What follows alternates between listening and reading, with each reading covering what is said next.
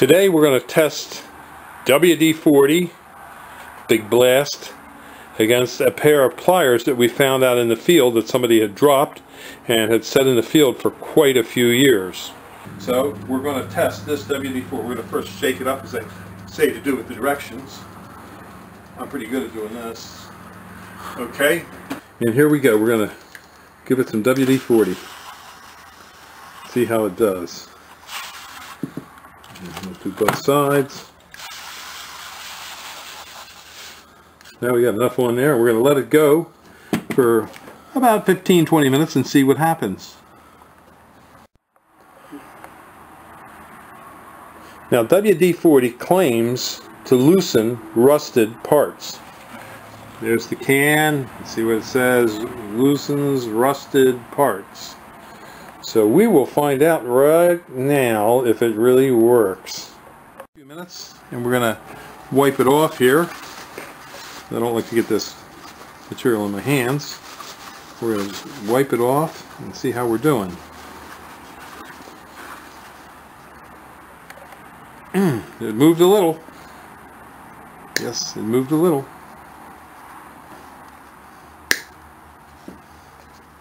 I Couldn't do that before.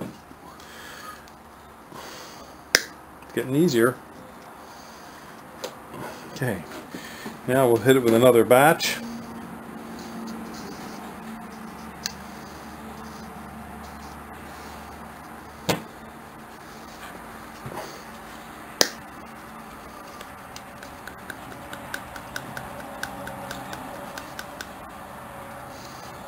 Mm, even more.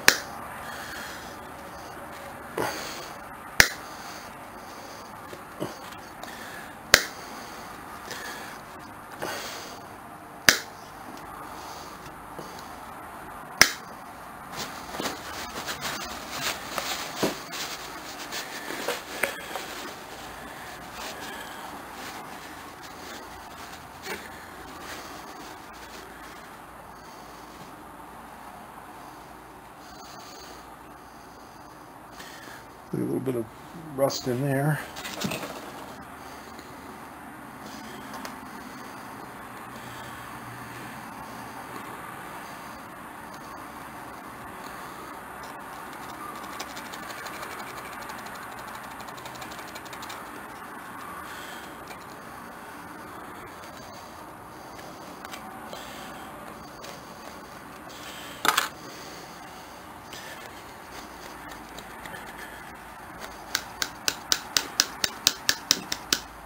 Oh, that's pretty good. That's coming.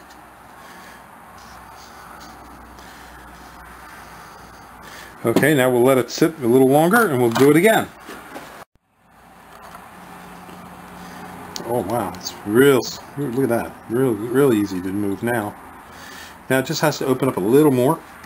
Ooh, look at that. Very good.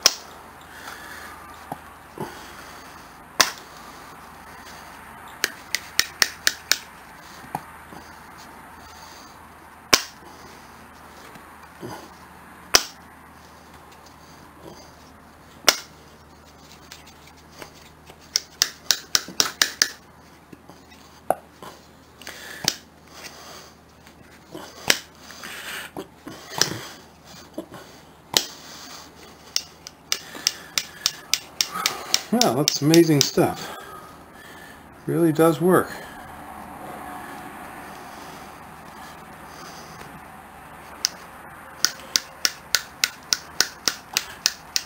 Not, not as good as new, but pretty close. Wouldn't you say, Mike?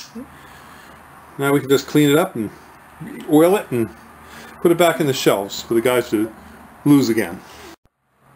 Now the next thing I'm going to do is I'm going to take some coarse sandpaper and there's some big rust on here. I'm going to clean this rust off.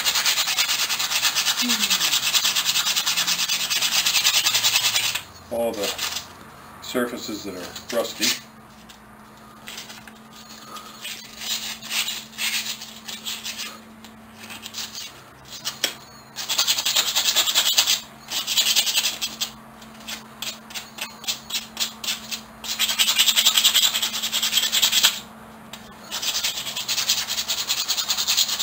Oh yeah, we're recording.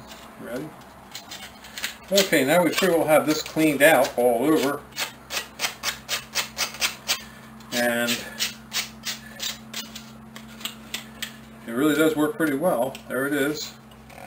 Not brand new, but good enough that we can use them. And the last thing we're going to do now is get some paint, and we're just going to give it a little paint to help protect it again. So when it gets lost, it won't rust as bad until we find it again.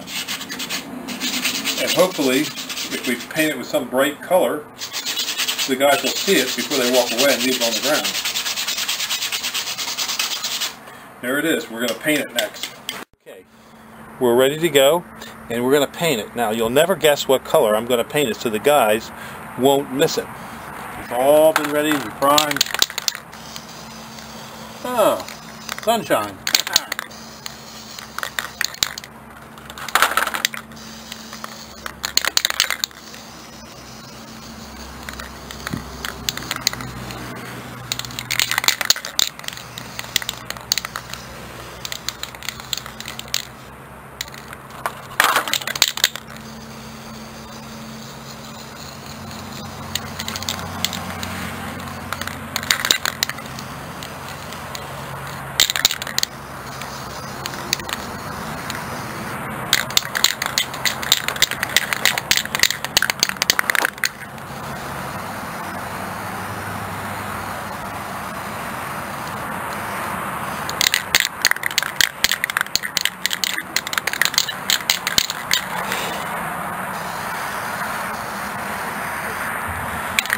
Okay.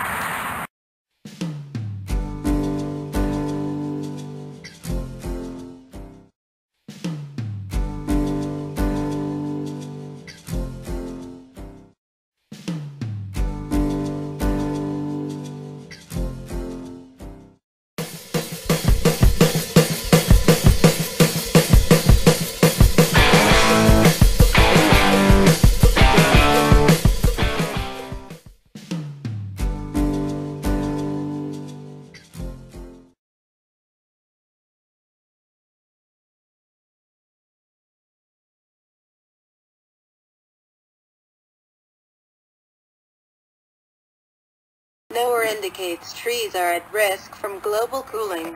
Thus, we recommend that you plant green giants instead of leyland cypresses in USDA Plant Zone 6. Be prepared for another cold winter. The myth of the Arctic meltdown. Stunning satellite images now show as of August 2014 the summer ice cap is thicker and covers 1.7 million square kilometers more than two years ago. This is despite Al Gore's prediction that there would be no ice by now seven years after Al Gore's warning. The Arctic ice cap has expanded for its second year in a row and has grown to an area twice the size of Alaska, the biggest state which was open water two years ago and is now ice covered. Nowhere indicates trees are at risk from global cooling. Thus, we recommend that you plant green giants instead of leyland cypresses in USDA Plant Zone 6.